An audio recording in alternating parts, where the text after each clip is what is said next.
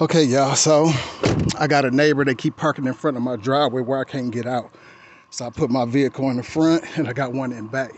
And I got a sign on it that says, can we please compromise? So I'm gonna go in the house and let them knock on the door and have to ask me like I have to do them. if you're gonna be mad, go ahead and call the police. I- I'm trying to be a good neighbor. No, you're not. That's the fucking job. No, it ain't. All I do is ask y'all. I- talk to the law. None of us own the street. Y'all can park any. This is my mom, okay? What I'm saying is- to do with you. You ain't even gotta. Well, I'll talk to you. Me. I don't care. It's um. You know, we can make a lot of money off of this. With the little joke there, this this should be happy. We good neighbors. I ain't got no problem with y'all. I just be needing to get out and be able to get in. I cannot pull out. He right here in front. I can't get out. If he parked right there, I can't get out because I can't make the turn. When I get ready to pull back in, I can't get in. Every time you tell me to move my car, I just move it. Why didn't you call me? You know, I, I don't want to be bothering y'all. That's like just extra stuff on me to have to get permission to move my vehicle to go.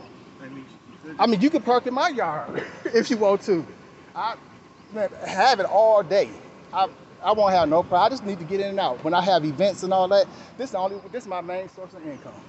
This is what I did. Okay, y'all. So it didn't turn out so well. My neighbor's been blocking me in my driveway, and I've been asking very politely not to just block that area. I don't own the street; the city own the street, so I know I can't make nobody move. I wasn't trying to. I thought we was cool. I thought we was good neighbors, and so I asked. And so I run a business and stuff, and I need to get my trailer out. And so I get blocked in where I can't turn. The streets is kind of small and stuff right here, and this is where they park it directly in front of the driveway. They got that space over there, and now they finally moved over there after the police being called. I called the police finally because they didn't find that to be funny when I blocked them in. I put one of my vehicles in the back of theirs and put one in the front, and I went back in the house so they can knock on my door like they tell me to do all the time to get permission to move because I got to get permission just to move to go to work. Um, I didn't think it was going to be that serious, but it turned out to be serious. She was very mean and very rude and loud, and it ain't even her car, it's her boyfriend car, you know. And so I was just talking to him, you know, he was cool, laid back, and I just don't understand. I thought we was good neighbors and we got along. So the video will be out on YouTube as well, so y'all can have an update of this story. But I'm gonna post signs all over the city of LaGrange, everywhere.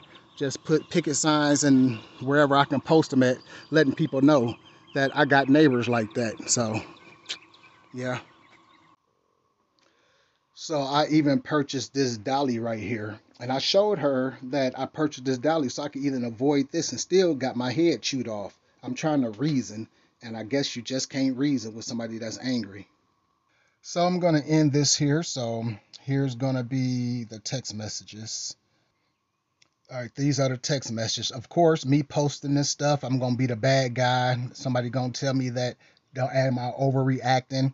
But this has been going on for over a year, and I'm just being nice and I'm tired.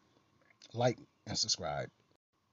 However, it's to be public records anyway since the police is involved. So that's what it is. Good day, y'all. Be on the lookout for the music video and songs. I'm doing one.